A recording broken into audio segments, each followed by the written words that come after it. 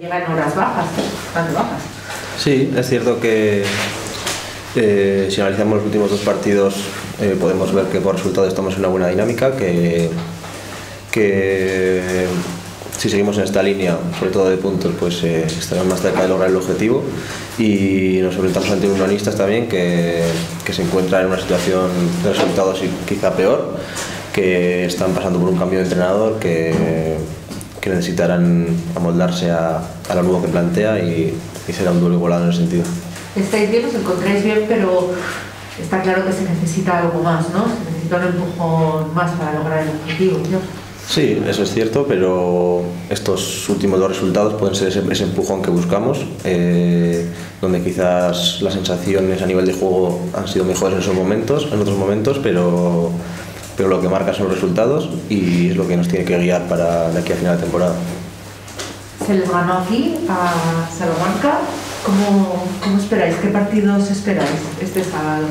Creo que aquí dimos uno de los mejores primeros tiempos que, que hemos hecho la- en la temporada y nos tiene que servir como, como ayuda, como motivación y nos encontramos, nos, nos enfrentamos ante un rival que, que con el cambio de entrenador son un poco una incógnita o aún están eh, amoldando lo, lo- que les plantea, lo- los nuevos cambios que les pide el entrenador. Entonces, en ese sentido, eh, no sabemos del todo lo que nos vamos a enfrentar. Parece ser que es un equipo que intenta crear más, que, que ha cambiado algo su estilo de juego, pero bueno, eh, nosotros siempre vamos a hacer nuestro juego, a, a intentar implementar nuestra idea de juego y así va a ser.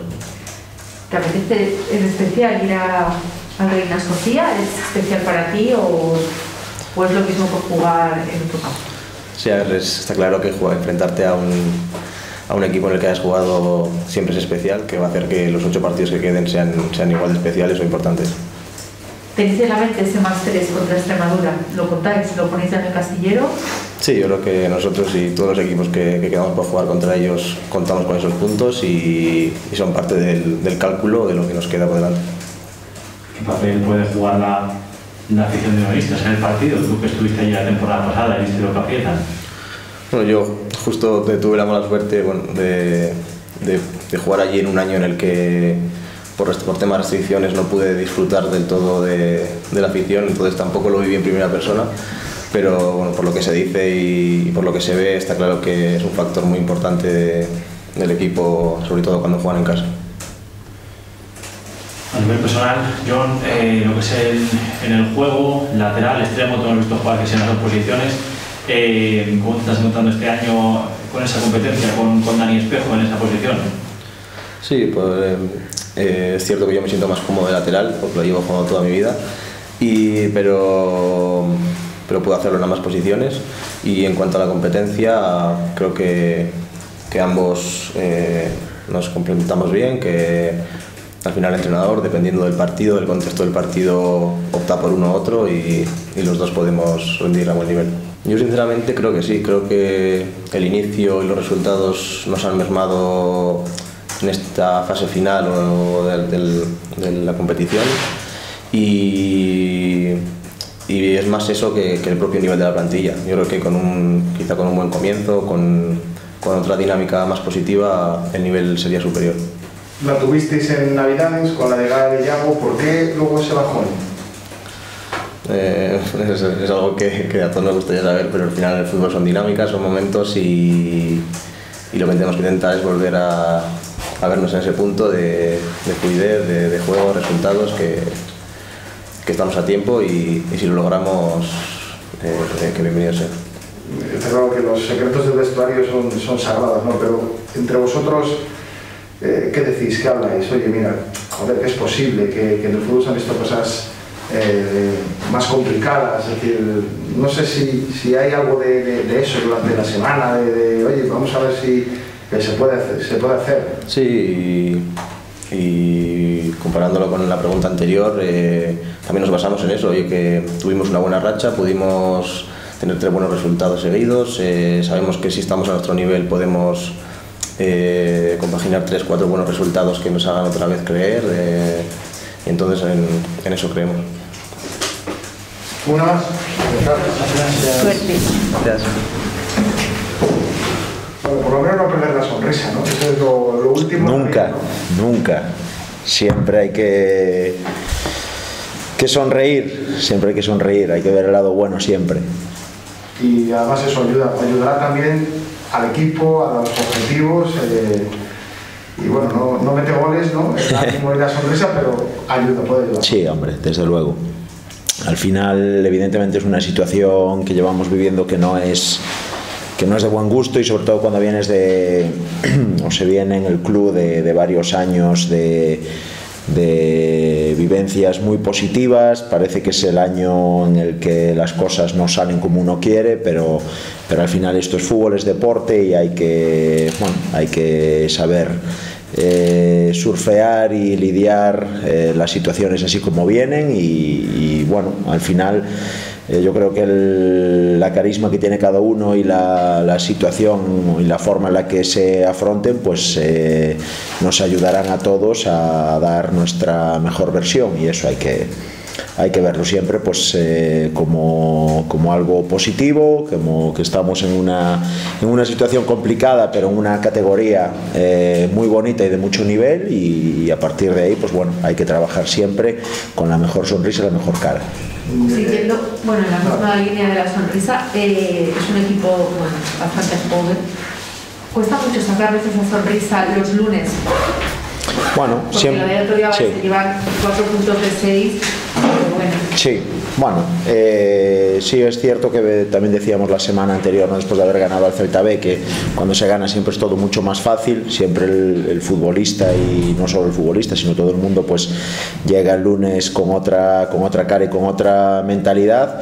Sí es cierto que, bueno, insisto, en el momento en el que estamos y con los resultados que estamos teniendo, pues sí que cuesta un poco más, pero bueno, eh, eso siempre es al inicio de, semana, ¿no? Eh, a partir de ahí siempre, siempre pues a mitad de semana entrenamos los lunes, siempre cuesta un poco más, el martes es el día libre, el miércoles que empezamos la semana ya la gente viene con otros ánimos, ya viene con otras caras, porque esto al final eh, es fútbol, compites cada siete días y no hay tiempo a lamentaciones, hay que recuperarse y hay que, hay que prepararse y estar al 100% para el siguiente partido. Y en este caso pues bueno, estamos ya jueves, además es una semana corta porque jugamos, jugamos sábado, nos queda el entrenamiento de mañana y bueno, digamos que estamos ya en la recta final de cara al partido del fin de semana. Y decía, por ejemplo, uno de los mensajes ha podido ser esta semana el punto que podría ser malo eh, o era malo o, o, bueno, depende de donde lo mires. A los jugadores se podría decir el punto es bueno y si ganamos en Salamanca pues eh, se hace mucho más bueno, ¿no? Es decir, mm. hay una oportunidad para redimir ese ese empate ante el Talavera consiguiendo 7 puntos de 9, ¿no? Que hubiera sido sí. firmado antes del Celta. Sí, claro, desde luego. Eh, bueno, siempre que la haya jornadas por delante, que a nivel clasificatorio, a nivel de puntos haya eh, margen para, para, seguir peleando y consiguiendo conseguir el, objetivo que todos queremos, eh, hay margen para, para, bueno, pues para ser optimistas y para seguir trabajando. Evidentemente, cuando analizamos el, o cuando hacemos el post partido, el, a principio de semana, y analizamos un poco pues lo que ha sucedido y cómo se ha dado el partido, sea el de este fin de semana pasado en Talavera o sea otros anteriormente, eh, al final, pues bueno, tienes que hacer una lectura tanto positiva como negativa, es decir, qué cosas el equipo ha sacado de forma positiva y qué cosas pues de forma negativa para, para mejorarlos. En este sentido, pues eh, como tú acabas de decir, la lectura positiva es que dentro de lo malo hemos, hemos mantenido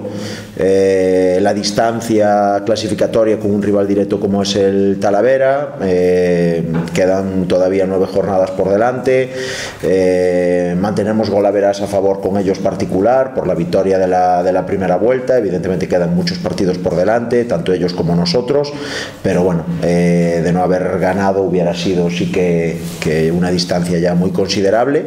Y ahora pues bueno, eh, dicen que los, los, equipos que quieren conseguir eh, grandes objetivos pues eh, se, se, agarran a la media inglesa, ganar en casa, empatar fuera. En este caso, pues bueno, nos toca hacerlo al revés. Cuando no ganas en casa, tienes que intentar ganar fuera. Nosotros vamos siempre a por los tres puntos, sea en casa o sea eh, a domicilio. En este caso, pues el fin de semana pasado no fuimos capaces de, de que quedasen los tres puntos aquí, pues iremos el sábado a, a, Salamanca e intentaremos en la medida de lo posible, como hacemos siempre, venir de vuelta con, con tres puntos. Ojalá sea así.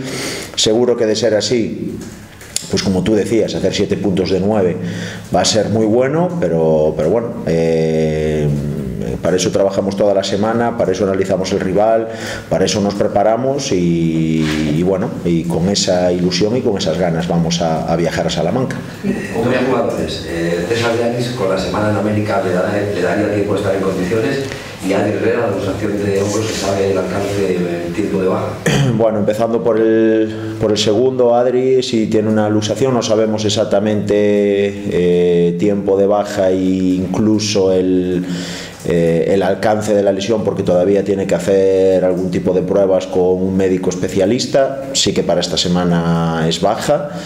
Eh, y en el caso de César Yanis, pues eh, llegaría mañana. Eh, evidentemente viene de, de, una competición internacional con su selección, con un viaje transatlántico y, que y que jugando el sábado a las 7 de la tarde pues no estará en las mejores condiciones pero sí para ayudar al equipo de, de ser necesario en función de eso pues bueno una baja y, un, y un alta con respecto a, a la semana pasada. Juana, eh, ya entrena con el equipo está empezando. ¿Perspectivas tenéis con él? bueno eh, voy a decirlo con la boca pequeña porque la última vez que hablamos de eso tuvo una bueno un pequeño paso atrás. Eh, la verdad es que es, la lesión de Juana es una lesión que que es complicada y que se está tratando de la mejor manera posible, sobre todo después de ese pasito atrás que ha tenido hace unas semanas. Entonces ahora sí que sí que lo estamos tomando un poquito más de calma, pero ya está haciendo cosas con el grupo, está en el mismo momento en el que dio ese pasito atrás hace unas semanas, por eso que queremos ir pues quizás un poquito más cautos y digo lo de la boca pequeña porque basta que lo diga para que pase cualquier cosa, pero bueno, eh, no te puedo decir cuándo podrá entrar, pero sí que, bueno, que parece que va por buen camino y que ojalá pronto pueda formar parte ya de una convocatoria y de ayudar al equipo. Luego hay otros dos jugadores a los que hemos visto en un caso poco y en otro muy, muy poco o nada, creo, Asane y Don, Dongo. -hmm que la integración está siendo lenta, la adaptación. No, eh, Dongu en este caso, bueno, los dos, los dos eh, perfiles de jugador, uno delantero con, con, un perfil un poco distinto a lo que teníamos. Eh, si recordáis cuando hablábamos en el momento de del mercado invernal en enero, que buscábamos unos jugadores que tuvieran un perfil un poco distinto, pero no que fueran salvadores ni que vinieran a, a cambiar todo ellos solos jugadores que vinieran a, ayudar al resto del grupo con sus, con sus perfiles. En este caso, Dongu eh, es un jugador que al principio sí que le ha costado porque venía de inactividad, venía de estar, bueno, su último, su último equipo fue en una liga extranjera, venía de un tiempo de parón, sí que le, le costó un poquito coger el ritmo y la semana pasada iba a ser un equipo, un jugador que íbamos a, a contar con él de inicio y el sábado, eh, bueno, semanas atrás ya veníamos con,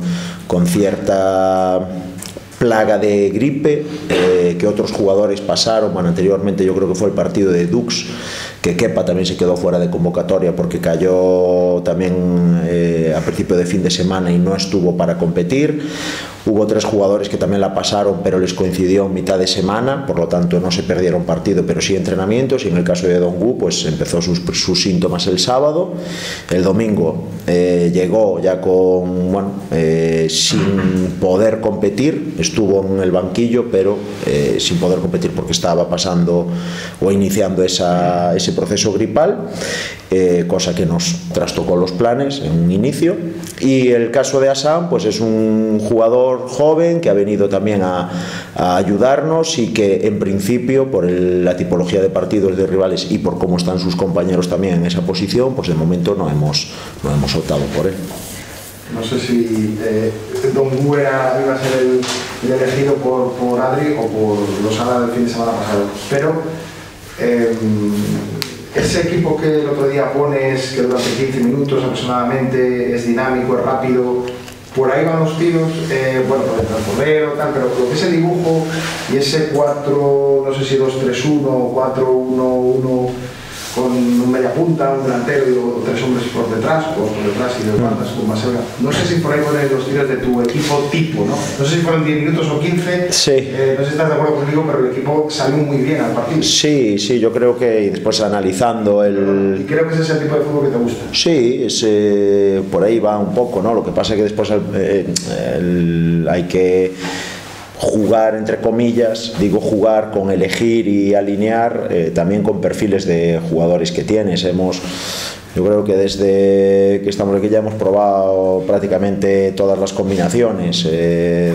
dos medias puntas, un medio centro solo, dos medios centros, dos delanteros, un delantero solo, extremos a pierna natural por fuera, extremos a pierna cambiada, una pierna natural, uno cambiada, un, un falso extremo para venir adentro, tipo Jorge, Dani, un extremo de verdad. Bueno, hemos probado muchas cosas, cosas que entrenamos, cosas que intentamos darle al equipo, también eh, fomentado por, primero, eh, pues la heterogeneidad de la plantilla, la, capacidad dentro de los 24 o 25 futbolistas que tenemos eh, con sus características que nos da esas variantes a nivel técnico-táctico, también por el rival, en función de lo que creíamos que necesitaba el equipo en cada partido. Y sí que en los dos últimos, eh, tanto Celta B como, como el fin de semana pasado contra Talavera, la opción de un hombre más referencia, en este caso Adri, para, para tener la, la, variante de juego directo en ciertos, en ciertos momentos. Y gente, bueno, pues en este caso el fin de semana pasado el elegido fue Mario Losada de media punta, un poco más de enganche. Y en el partido del, del, del Celta B eh, los elegidos fueron Carlos Ramos y Jorge en ese, en ese sentido, en en, esa posición. A partir de ahí, eh, sí que es cierto que los 20 primeros minutos del otro día, el equipo yo creo que está muy bien, dinámico, llegando, creo que entramos muy bien al partido e incluso, bueno, pues eh, sí, es un poco la idea del, de lo que a mí me gusta y de lo que me gustaría que el equipo hiciera durante más tiempo, pero más allá de los nombres o de los perfiles, de jugadores va un poco por la idea general. Después a partir de ahí sí que hay momentos en los que unos jugadores están mejores que otros y ahí es donde pues estamos intentando elegir eh, quién está mejor en cada momento para, para salir a competir. ¿Y qué unionistas te esperas? Porque hay un nuevo entrenador. Eh, ¿qué, preparar el partido, no, pero bueno, ¿qué tipo de partido te esperas? Bueno, pues un unionistas bastante, bastante cambiado con respecto a la primera vuelta. Eh, cambio de entrenador y cambio también de, de idea futbolística en principio, eh, sin llegar a ser un cambio muy radical. Sí que anteriormente Unionistas se caracterizaba por, por priorizar eh, su fase defensiva, por decirlo así, equipo que, que defendía muy bien, con, mucha gente y, y, que hacía mucho daño tanto en acciones a balón parado como, como en acciones rápidas de contraataque o de juego directo y que ahora en las últimas semanas ha dado un pasito adelante en el juego con balón, un equipo que intenta proponer un poquito más, que intenta llevar la iniciativa y por lo tanto pues nos, eh, bueno, nos va a obligar también a, utilizar otros registros nosotros y a estar pendientes de, de otras cosas. Quizás eh, sea un partido en el que los dos equipos ahora mismo pues queremos tener el balón a priori, a partir de ahí pues vamos a ver eh, por dónde van a ir los distintos minutos de partido, pero, pero en eso ha cambiado el Unionistas estas dos semanas. ¿Tenéis en algo el césped artificial o no, no, va a afectar mucho a la, a la hora de jugar en tu juego? Bueno, no tiene por qué cambiar, además es un un campo de hierba artificial que yo creo que de los, de los que hay en la categoría es el que mejor está, eh, un campo que tiene escaso un año.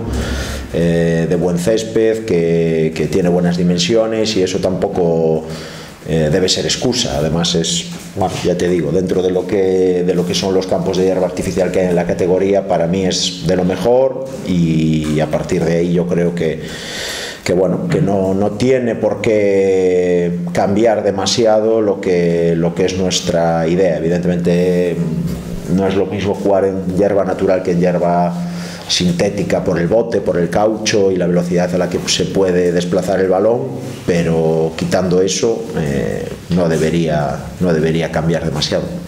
Aparte, no sé si alguna cuenta pendiente por el año pasado, que en el último segundo se le robó un poco lo de Extremadura, no creo que haya alguna sí, entró Zamora dentro de unionistas, mm. eh, que no tengan casi opciones de que se hayan desinflado, de que haya, entre comillas, cierta defección, porque ahí sabes que están a tope y que no, con la afición es, va a muerte, ¿no? pero que hayan dejado escapar el tren de, del playoff les puede hacer un poco más más endebles o al contrario, nuevo entrenador, posibilidad de engancharse otra vez, no sé pues, cómo lo ves. Bueno, casi por la segunda, o sea, yo es que no creo en en que los equipos se dejen ir o en que mm, a estas alturas son por encima con, con, nueve jornadas por delante todavía, mm, con un cambio de entrenador, como acabas de decir, a escasas dos semanas, habitualmente cuando los equipos hacen eso es para reavivar, para cambiar, para activar de alguna manera eh, pues eh, el propio vestuario, los propios jugadores, los propios aficionados y demás. No creo que vaya a ser un partido en el que Unionistas pues eh, digamos que dé ya la temporada por finalizada porque no es así, no conozco ningún equipo que, que lo haga y en este caso yo me espero un partido pues como son en, en, ese campo, ¿no? en, el, en el Reina. Es, es, un campo complicadísimo de ganar, si es cierto que en las últimas jornadas que han jugado en casa, pues sí que han perdido más puntos que anteriormente, pero aún así es un campo complicadísimo, es un equipo que está en la parte media alta de la clasificación y que no olvidemos que hasta que vinieron aquí era el único equipo que no había perdido, evidentemente ahora es otro momento de la temporada, los dos nos estamos jugando mucho y, va a ser un partido muy igualado, eso seguro. ¿Qué factor va a jugar tanto su afición como la nuestra que pueda ir hasta allí? Bueno, pues ojalá venga mucha gente o vaya mucha, se desplace mucha gente de Zamora para, si recordáis en el partido de, de ida aquí, hablábamos de que iba a venir mucha gente de, de Salamanca y hacíamos un llamamiento a la, a la, afición de Zamora para que, bueno, pues eh, que esa numerosa afición de Salamanca que viniera, pues que se sintiera, se sintiera en inferioridad. Así fue, así, así lo sentimos desde el terreno de juego. Evidentemente vamos a un campo en el que la afición arropa muchísimo, es un derby aún por encima, seguro que que bueno, que para nosotros pues encontrarnos gente de Zamora allí que nos aliente, que nos ayude y que, que nos acompañe en este momento y en esta situación, pues nos va a ayudar y, y ojalá así sea.